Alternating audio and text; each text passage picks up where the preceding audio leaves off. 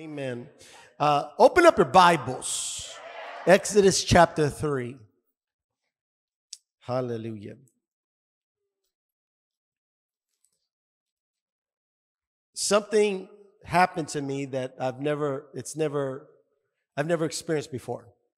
When I was in Argentina, I had a dream while I was I was sleeping, and it was a, a room full of people, but they were they were great men and women of God.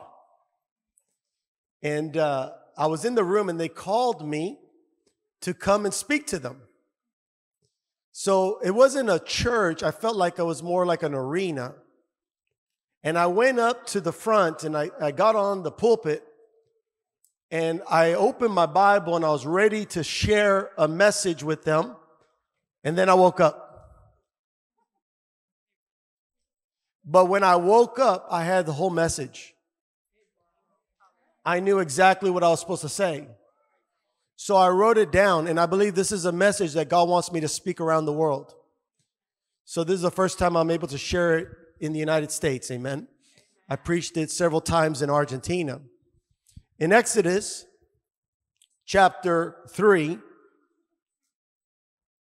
verse 8, actually, verse 7, and the Lord said, I have surely seen the oppression of my people who are in Egypt, and have heard their cry because of their taskmasters, for I know their sorrows.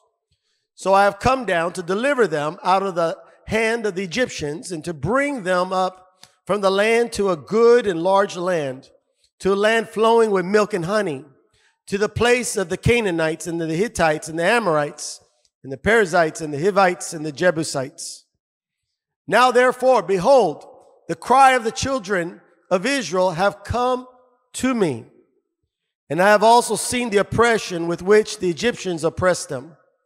Come now, therefore, and I will send you to Pharaoh that you may bring my people, the children of Israel, out of Egypt. Your living in this time and in this season is a miracle. You could have lived in any time. You could have lived a hundred years ago, a thousand years ago. You could have been born in another part of the world, a whole different race. You could have been, you being alive today is a miracle. Living and existing today. Nobody's here as an accident. Your, your parents might have called it an accident or, or society might have seen that, that you weren't planned, but in the plan of God, you were. Children come all sorts of ways, but there is no accident. You live now. You're breathing now. God has a reason for you to exist. Amen. Hallelujah. I thank God for all that the Lord did yet hundreds of years ago, but I'm called to this generation, I'm called to this time and this season to bring the glory of God to the, this people. Amen. Hallelujah. And so, one of the things I did when, when we began as pastoring 19 years ago, I began to say this prayer, and I continue to say this prayer every week. I say, Lord, the cries, the screams, the pain, the words that you hear of those that are crying out for mercy over this region, over this land, those that know you and that don't know you, but they're asking for some sort of help, some sort of mercy from you. Lord, those screams, those cries, what you hear, let me hear it too. And give me your power, an anointing to answer. And I could tell you, in my prayer time, or even just living, I could be walking down the street, and there are times that the Lord will put His heart inside of me for certain things that are going on in society, stuff that I don't even know about, but I, I know that, that the Lord is preparing us for going, th- that, that we're going to go through it. And I find myself preparing the church. I find myself preparing my life and preparing the leadership and the, and the people. And, and during that season of preparation, next thing you know, the things the, the news changes, but we are ready. Like I give God praise for the time that we went through during COVID. Not one person, not one member of this church died from COVID. That's a miracle. I give God praise. There were people that that that that went home, but they didn't go home because of COVID. Amen. God is good. And so you notice how God said, I heard their cry, and I'm choosing you, Moses, to respond that you're going to be the one that's going to take them out of slavery and into my promised land. God has not changed. He still does that. He still has heard the cry of the people and he still raises up a man or woman of God to lead people out of their slavery, out of their bondage, out of their misery and into God's plan, purpose, and his promised land. And I believe you're the one. I believe that you're going to be people, you're going to be leaders of people out of their brokenness and into the glory of God. Amen. Who, who here can say, God, here I am, use me? Here I am, use me. You might look at yourself and say, I'm unqualified to be used by God, but it's not about what, what uh, you can do. It's not about your strength. It's about his strength in your life when the prophet uh, was before the Lord and he saw the glory of God, he said, woe is me, I'm unclean. But then the, they took a coal from the altar and touched his lips and his iniquity was removed. And after that iniquity was removed, his words changed from uh, who am I to be, you know, uh, woe is me. I can't be in, in front of a holy God. His words changed from woe is me to here I am, Lord. Send me. Amen. I, I, I say this many times. You know, all God wants is your body. He needs a vessel that he could fill with his glory, that he could put his anointing upon, and that he could use. Amen. So that when you speak, you don't speak in your strength, you speak in his strength. And the works that you do, it's not your works, it's the works that you first see the Father do. That's the way Jesus lived. He said, The words that I say, I first heard the Father say, the, the works that I do, I first see the Father do those things. Nothing has changed. We're being led by the Holy Spirit. And as the Holy Spirit leads, we follow. As the Holy Spirit declares, we declare. As the Holy Spirit guides, we, we, we, lead, we follow Him. Amen. And so God is, is hearing the cries and the, and the, and the pain of society and he responds with power by putting his anointing and his strength and his word inside your life. Amen. And he'll use you. But there are things that you need to cry out for so that you can receive. Jesus said, You have not because you ask not. And you notice how God responded to the cries. And I want to encourage you there's four things every minister must cry out to God for. Look at your neighbor say, You are a minister. We're not serving man, we're serving God. We are ministers unto the Lord. And everyone that has given their life to Jesus Christ, it was not just to get you to heaven, but was to put heaven in you so that wherever you go, you bring heaven to those that are lost and hurting. Amen. So you must cry out for these things.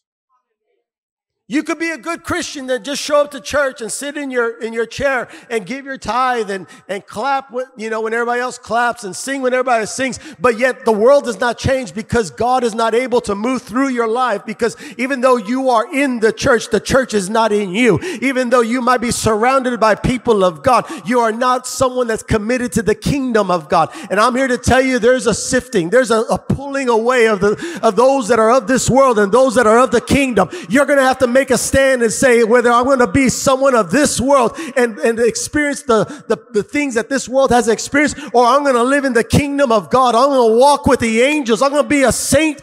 I'm going to be a, an instrument used by God.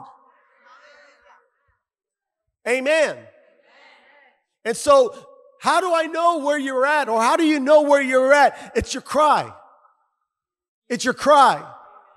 If all your cry is, God help me, and then you get a little help and, and, and then you, you don't cry out again until, until you need something else. I heard this one person says we should make a make, make a, a shirt that says "We'll pray when when I'm in when I have problems."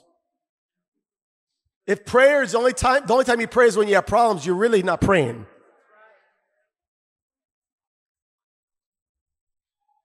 Hello. You know, I will preach with fire even when it even when I got so many problems that you can't even imagine. Because the problems don't change me. I'm seated in heavenly places. I'm, I, I've been redeemed by the blood of Jesus Christ. My, my life is not my own. I've been bought with the price, the blood of Jesus. So, so my joy is not dictated according to what's happening in my life. My joy, it comes from the Lord. The joy of the Lord is my strength what Jesus did for me has established my, my identity. I am the redeemed. I am a, a, son of God. My name is written in heaven. And just because I'm having a bad day doesn't change that. Hallelujah. And it doesn't change it for you. So let's get with the program. Amen. Hallelujah. How, how many of you know that tomorrow you're gonna you're gonna have some needs. And then the next day you're gonna have some needs. How many of you know that you're gonna need provision tomorrow? There's there's bills that need to be paid. There's there's there's expenses that need to be taken care of. Amen. How many y'all know that's gonna happen? Amen. Hallelujah. So don't let the momentary issues stop you from being who God called you to be. Because if you become who God called you to be, God will provide for you. He will bless you. Your needs will be taken care of as long as you put his kingdom first. All these things shall be added to your life. Amen. Hallelujah. And so God wants to change your cry from God help me to these other things we're going to ask God for. But you must cry out for these things. If you really want to see the goodness of God and the glory of God and be used by God, you must cry out for these things. I'm going to give you these four. You need to write these things down. As wonderful as your memory is, you know,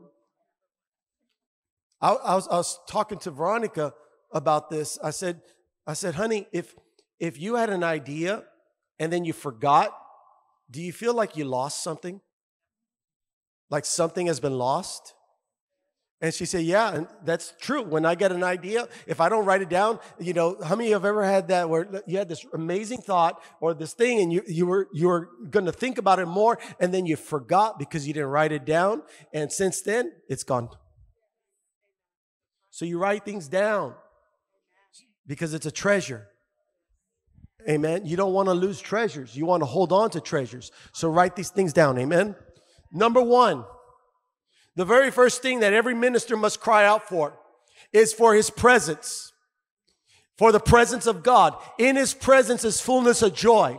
The presence of the Lord must be cried out for. It must be sought after for. You must cry out for the presence of God. God will make his presence available to you, but he only responds to the cry. If you don't have a desire for the presence of God, the presence of God will not come. But one of the most incredible miracles is that every son, every child of God that's been bought with the blood of Jesus Christ, the moment that you say Jesus, the presence of God shows up. You could be in the most difficult time in your life. You could be surrounded by trouble all around you you. But the moment you close your eyes and you say, Jesus, the presence of the Lord comes. And as he comes, he begins to pour out his anointing upon you. He begins to restore your strength. He begins to fill your heart with joy. He begins to give you encouragement and strength in the midst of whatever misery you might be going through because his presence is, is available to every single one of us. Amen. The Bible says he will always be there for you, that he will never leave you nor forsake you. Amen. His presence will be there for you. Every day you must be crying out, Father, I need your presence. Spirit of God, you are welcome in this place. Lord Jesus, I need you. You have to cry out for it. You have to cry out for it. You will be changed in his presence.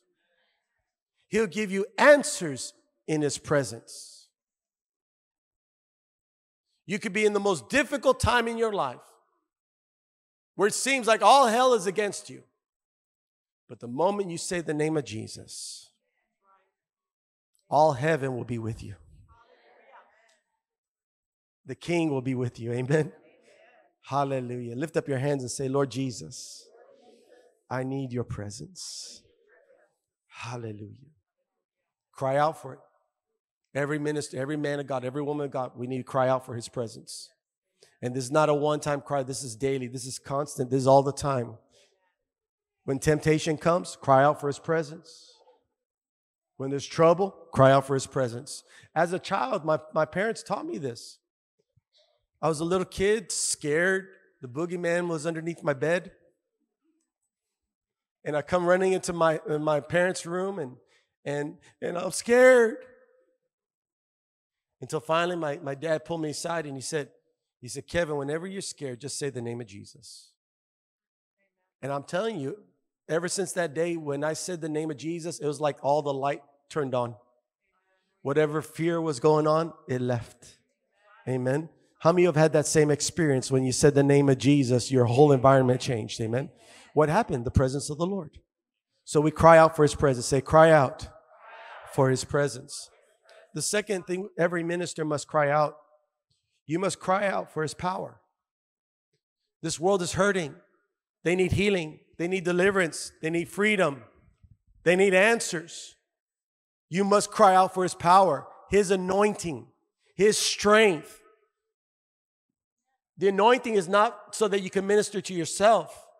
The, mo- the anointing is so that you can minister to others. Amen.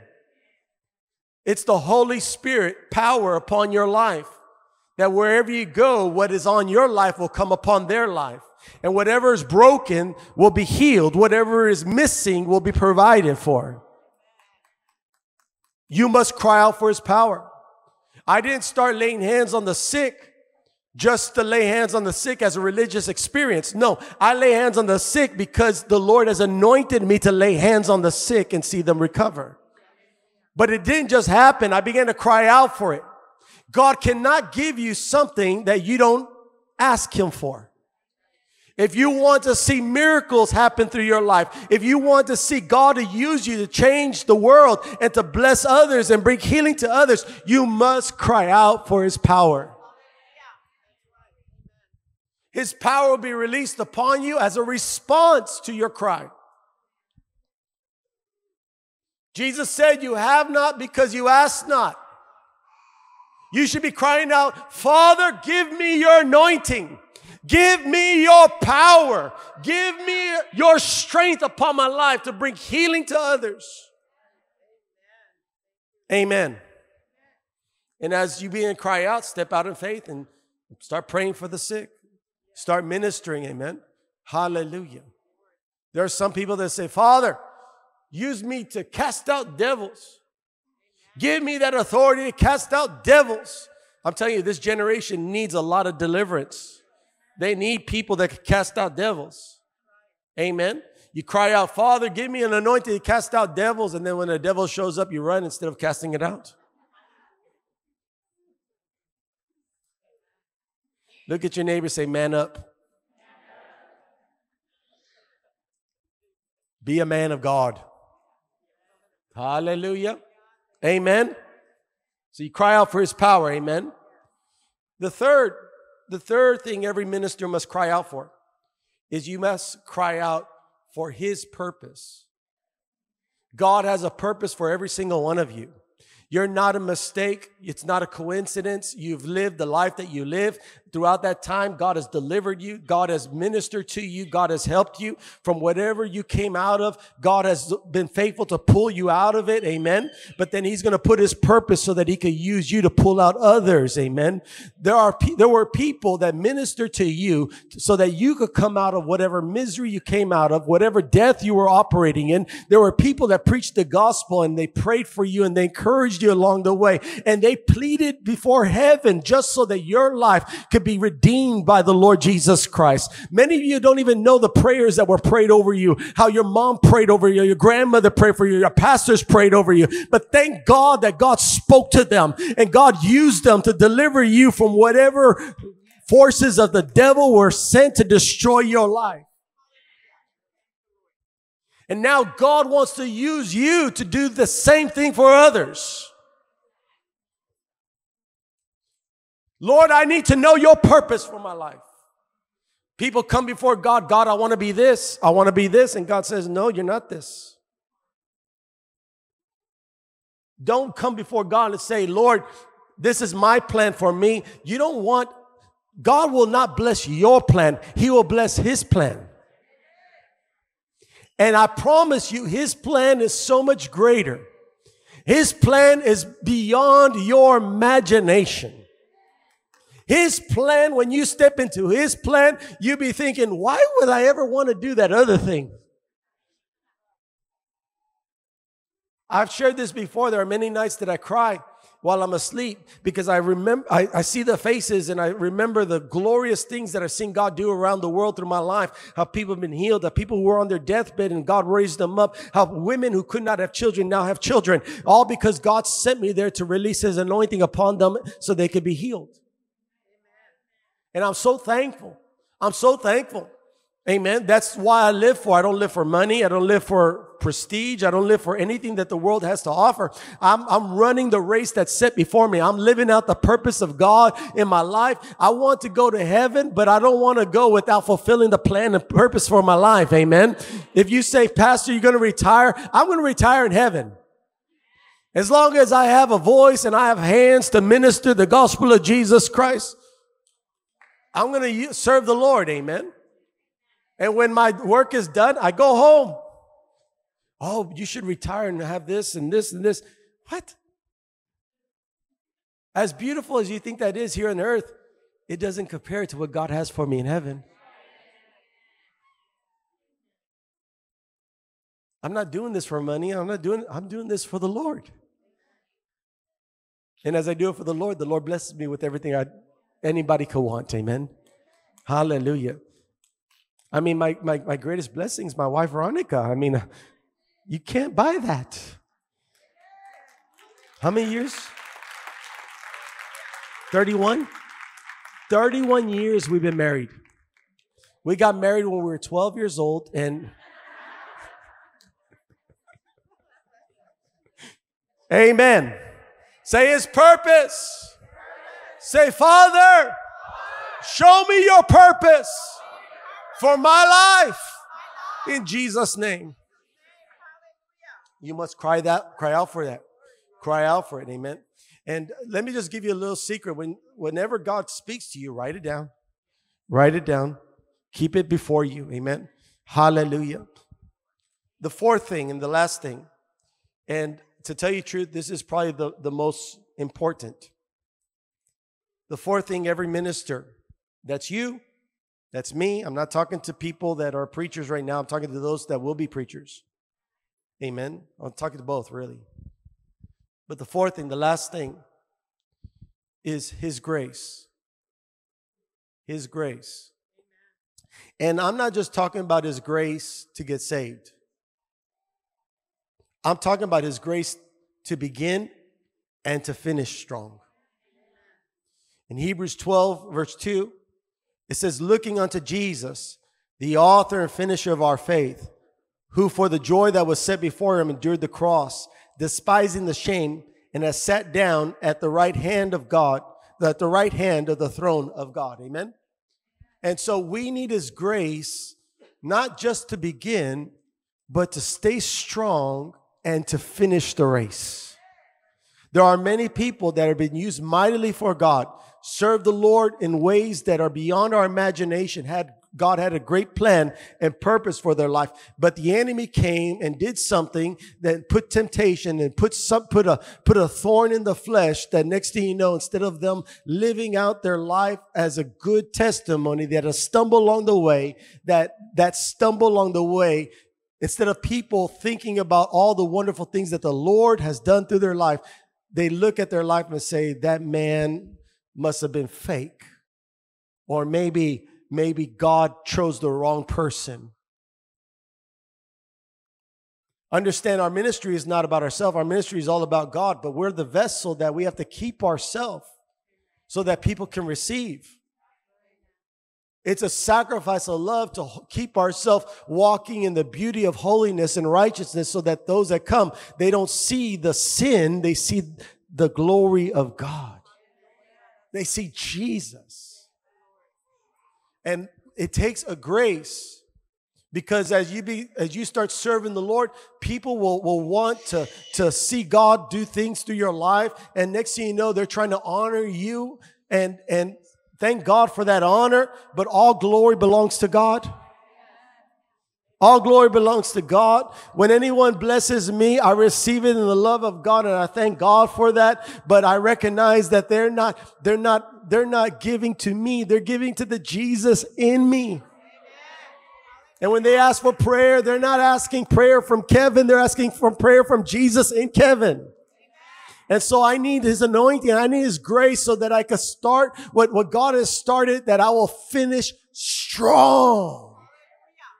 Amen. And it's beyond the, the ability of man. It's beyond your ability that when temptation comes, it's beyond your ability to resist every single time. That's why we need the Holy Spirit. The one that called us will keep us. Amen. That whenever the enemy tries to put a snare, the, the Holy Spirit will show us what's happening. And the Bible says that in every temptation, God will provide a way out. So that when the things of yesterday, the things that your flesh indulged in yesterday, but you're a new man in Christ Jesus, the Spirit of God will be there to remind you who you are. So you could tell the flesh, no, this body is not my own. It belongs to the Lord. It is a temple of the Holy Ghost. This temptation, it, it's a momentary, it's a moment, and I'm not going to risk the future and the plan and the purpose that God has for my life for one moment of, of weakness. Somebody shout no. no. I wasn't convinced. Somebody shout no. no. When, the, when, when drugs tried to be temptation, no! My body's not for drugs. Perversions try to come in, no! I'm a man of God. God has made me holy. The Spirit of the Most High God lives on the inside of me. I'm a temple of the Holy Ghost. This, this life belongs to the Lord. I'm not living for Kevin, I'm living for the Lord. Kevin's a dead man. Those, those are old ways, those are dead things. They are not my ways no more. Amen. Like the devil should be scared to try to tempt you. Like he tries to bring a temptation, like an old friend shows up and say, Hey, listen, I got these things. You know, you want to be, remember we used to do this? Shut up. What? Hey, what, what, what's your problem? No, shut up. That ain't me. That ain't me. Matter of fact, you need deliverance, bro. Aren't you tired of surrendering all your money to some drug that has no value other than five minutes? But at the end of it, it's going to cause you to, to want to kill yourself. Why don't you die to who you are and live for God? There's freedom in the name of Jesus. He set me free and he can set you free too. That'll be the last time that guy ever tries to tempt you with that. Amen. Why? Because darkness runs away from the light. Hallelujah. Praise the Lord. Let, let me hear you shout no again. No! Oh, I, I believe that one. I believe that one. Amen. Hallelujah.